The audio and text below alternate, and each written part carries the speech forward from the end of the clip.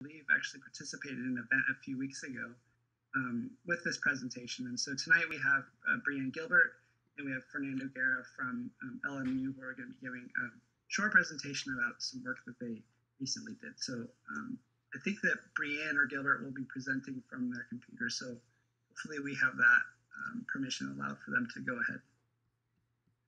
Hello there. Thank you all very much. And yes, I do now have permission.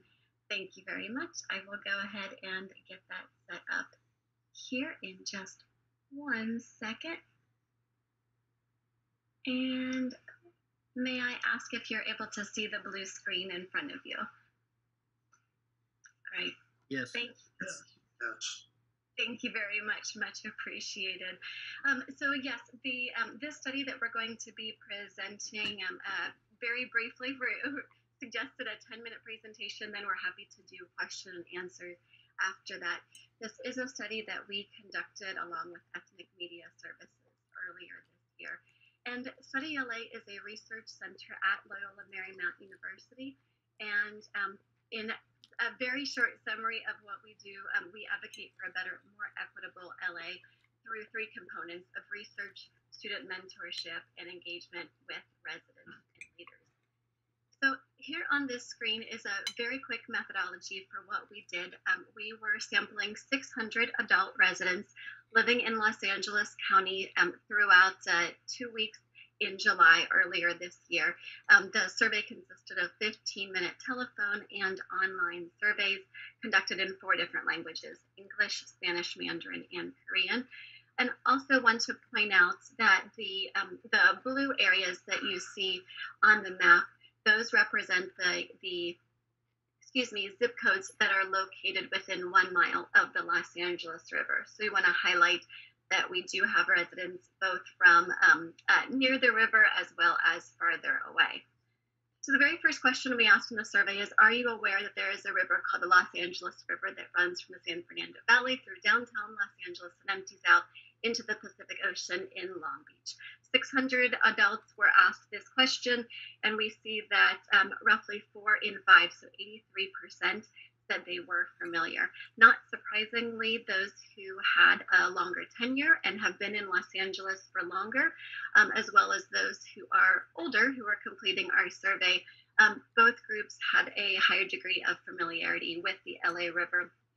Interestingly enough, there was no statistical difference between those who were located close to the river as far as compared to those who are farther away.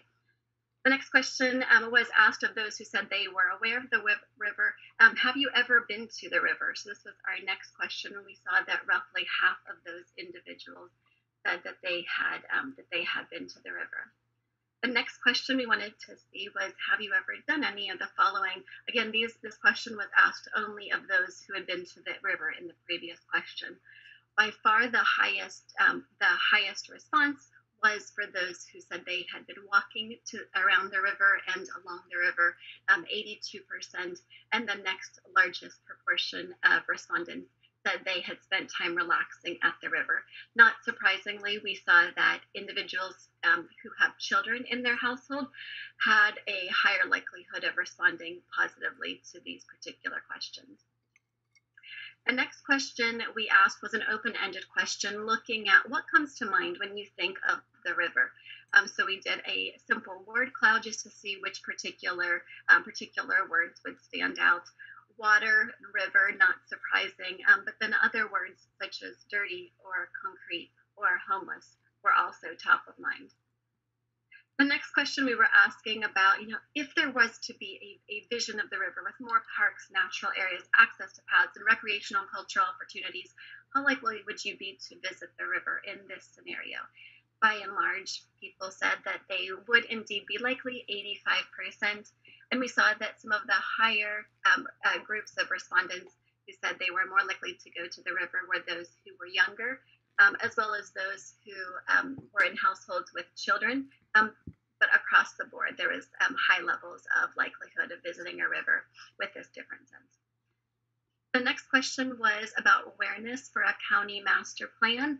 Um, by and large, individuals were not familiar. Only 21% said that they were aware. Um, and some of the groups that were least likely to be aware were um, uh, Latino or Latina respondents, as well as those who rent as opposed to own, um, those who completed the survey in either Korean or Spanish, those who are younger or who had lower household incomes. The next question uh, we wanted to ask about the master plan and which of the following people would like to see um, happen along the LA River. So for this question, we see there's a lot of respondents saying yes, they would like to see a number of these different um, these different ideas, building more bike and pedestrian paths, building more parks, creating more access points where it was feasible, removing concrete to create the natural areas, creating a more more opportunities for recreation or keeping concrete the way it is to control flooding. The lowest level of support, just slightly over half, was removing all concrete and returning the river to its natural state.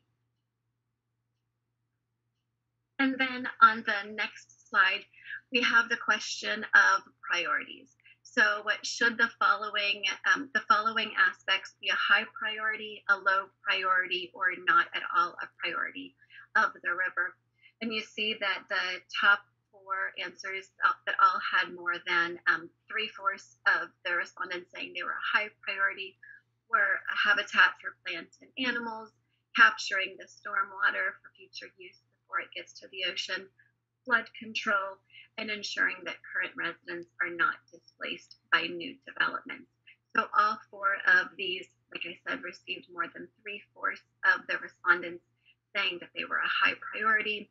Um, a number of areas also said that they were a low priority, with very few respondents in any of the categories saying that they were not at all a priority. And we have them ranked on the screen as we do in many of our slides, just to, um, although the questions were randomized as we were asking the respondents, we want to keep it um, as easy to understand as possible by having it in numeric order.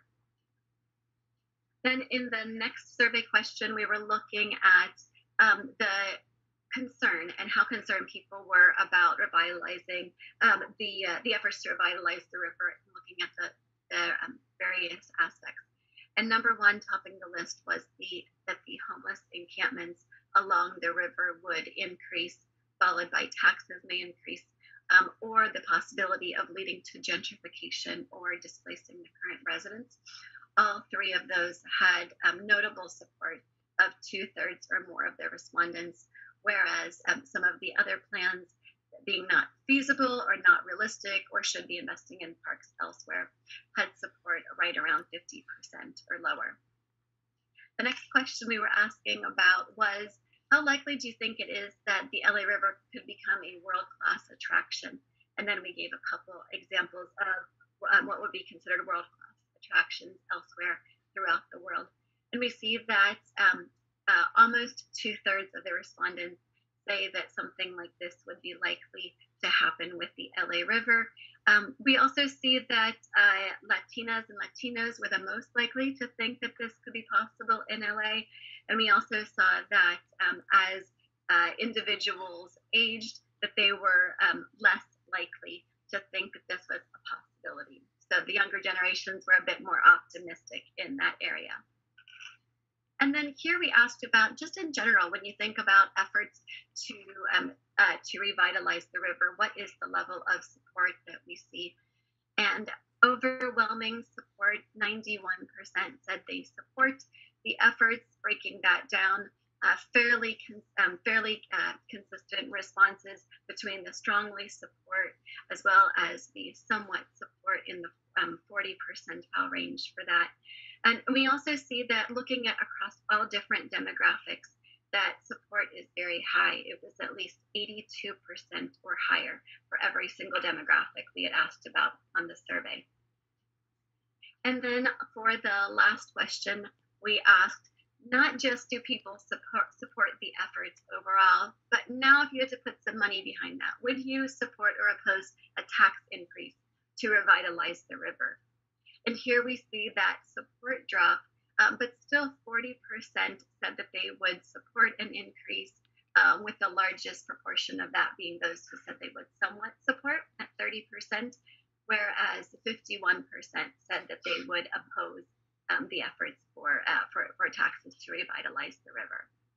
So that concludes our very brief survey, and we're happy to answer any questions from anyone.